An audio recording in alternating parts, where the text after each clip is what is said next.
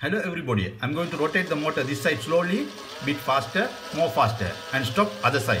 I'm using L298 module here with Nucleo.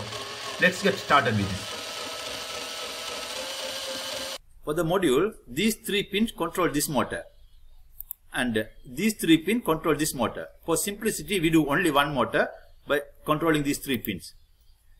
For this motor, in 1 and in 2, if both of them are 0, stop. If this one 0, this one 1, backward. If it is other way around, it's forward. And we have to give PWM signal to control the speed. Uh, we can set in the CubeIDE like this. The value here, the maximum, is the counter period. If the width is more, more speed. If it, the width is less, less speed. The data sheet for L298N is here. When you go to page number 5, minimum, typical and maximum, the frequency is uh, maximum 40 kilohertz, typical 25 kilo, kilohertz. I'm using uh, 500 hertz.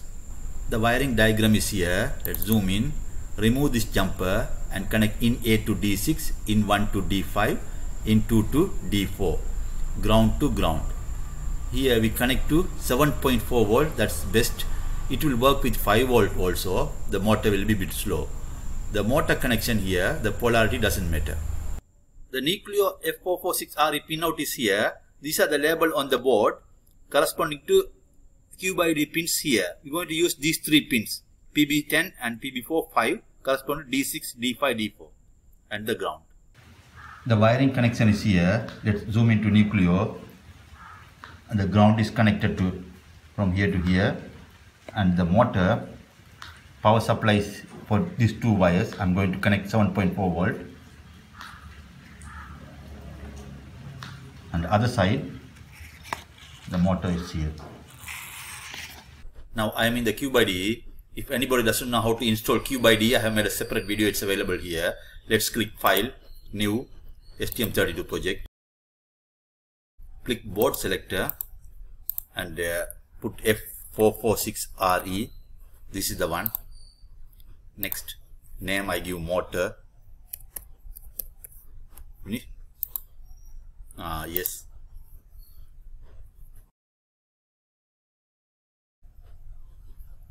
Now we can zoom in and uh, we make pin PB4 GPIO output.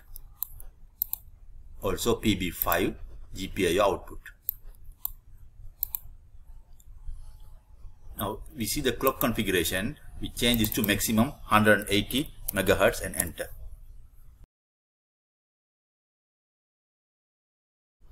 Now we can see there are two timer clocks APB1 90 megahertz APB2 180 megahertz we're going to see which clock we're going to use for the our timer we go to data sheet I will give this one in the description below uh, there are timers here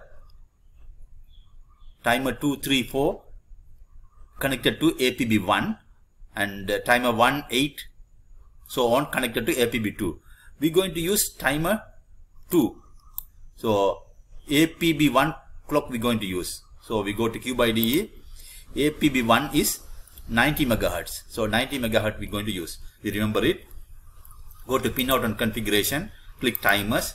Click timer 2. Uh, clock source internal clock.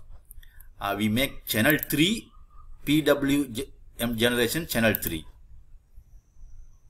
So this pin is selected. PB10 so 90 megahertz. So we're going to make um, say 500 hertz. So I first select divide by 890 so 90, 90 minus 1 that is 89 and then I divide by 2000 2000 minus 1 is 1999 so now we get 500 hertz so that's all the setting we can click save For simplicity, I have given the code in my website. Link is in the description below. This one. So when we go below, the cube ID setting is here. We have just done. The code is here. User code begin 2 we copy this line only one line. We go to user code 2 we paste it here. And in the while loop we copy from here until end while loop. Copy and we paste it in the while loop. That's here. We paste it. That's all the code. We can click save. And uh, so we start the timer and uh, if you set one pin low one pin high uh, one direction. If we set other way around other direction. And uh, the pulse width we set it to 1000 and 1500 2000 slowly medium maximum speed. And then we set the other direction uh, sorry we stop it by setting two of them to zero. And then we swap the um, the pin uh, value. This one 0 1 and 1 0 so going other direction. Similarly we set it slow speed medium speed high speed and then we stop it. That's all. We can upload the code. Yeah it's uploaded. I have uploaded the code. It's working like this. Faster. And stop and going other side now slowly bit faster more faster. For the second motor keep everything as it is for this side and only different is remove this jumper also connect this pin in B to A1 in 4 to A2 in 3 to A3 and connect this motor. That's all.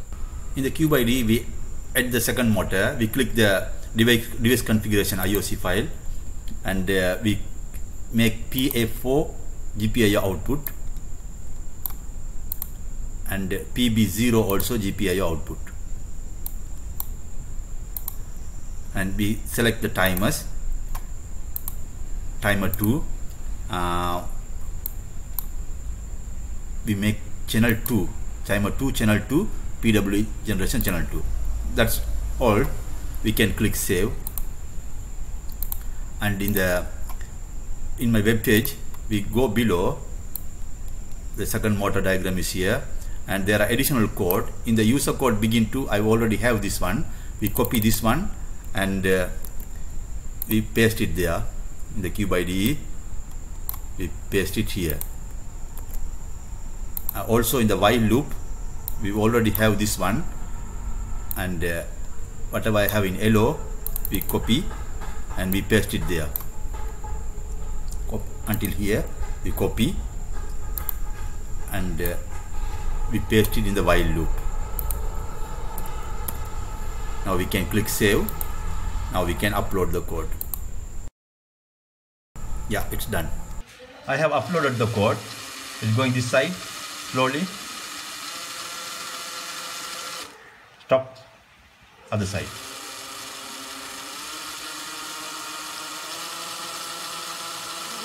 Thank you very much for watching.